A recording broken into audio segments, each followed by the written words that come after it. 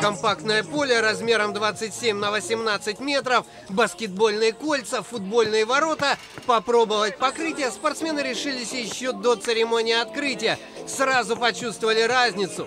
День назад Эльдар Бегалин и его приятели играли в баскетбол на неровном грунтовом поле. На новой площадке другой, по словам ребят, высочайший уровень. Легкие пружинящие движения, быстрые рывки. Покрытие очень классное, э, очень новая площадка. Мне нравятся здесь ворота, кольца.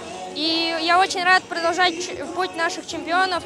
Лидеры, как всегда, находились рядом, подсказывали, подавали пример и начали церемонию открытия, внесли знамя команды. На нем чемпионские вымпелы. За 12 лет в клубе подготовили целую когорту известных спортсменов, чемпионов мира, Европы, России. Набор юных мячей идет ежедневно. Международные старты этого сезона показали. Важны не только тренировки в зале, растет роль скоростной выносливости спортсменов. Тренеры клуба Мрат Абдуалинов и Амирхан Нурмагомбетов решили срочно строить уличную спортивную площадку. На этой площадке э, практически вот все последние э, новшества постарались применить. И открываем ее, э, потому что следующий год у нас год ГТО, объявлен президентом нашим Владимиром Владимировичем Путин.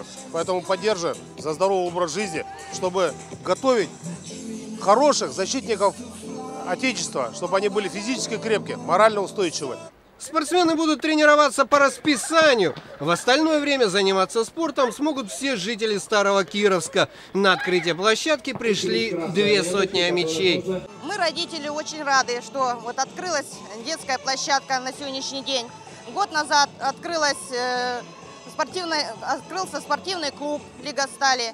Наши дети занимаются. Тут очень замечательные тренера. У них очень высокая э, харизма. Мы э, рады. Первое спортивное состязание на новой площадке пройдут в День знаний 1 сентября. И спортсмены из клуба Лига Стали будут соревноваться с ребятами из школы номер 55. Владимир Истомин, Сергей Гаврилов, Антенна 7.